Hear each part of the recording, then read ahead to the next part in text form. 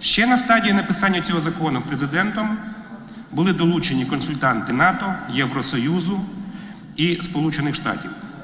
Коли цей закон попав в комітет на минулому тижні, ми створили робочу групу. І, наприклад, в п'ятницю в присутності представників НАТО, представників Євросоюзу, представників Посольства Сполучених Штатів, Держдепу, народних депутатів, ми провели першу робочу зустріч, де окреслили рамки цього закону при повному консенсусі. Що ми чуємо сьогодні в цьому залі?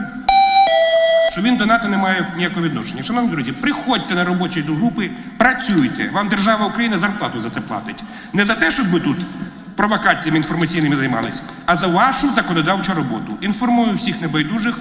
Сьогодні о третій, вже з редакційними правками е, комітету, закон буде розглядатися в приміщенні комітету.